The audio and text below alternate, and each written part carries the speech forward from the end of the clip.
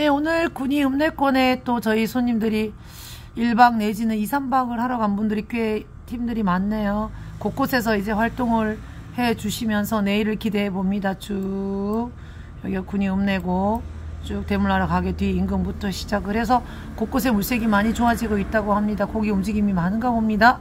네, 어저께 또 낚시를 가셔서 또 그 결과물도 더러더러 나왔거든요. 활성도가 많이 좋아지고 있는 어, 조항 접수들이 지금 현재 이루어지고 있습니다. 오늘은 3월 14일 목요일이거든요. 다가오는 주말은 기대하기가 아주 좋을 듯 예상을 합니다. 낚시야 끝까지 해봐야 알겠지만 예상은 좀 좋은 느낌을 줍니다. 여러 여건이 좋아지고 있다네요.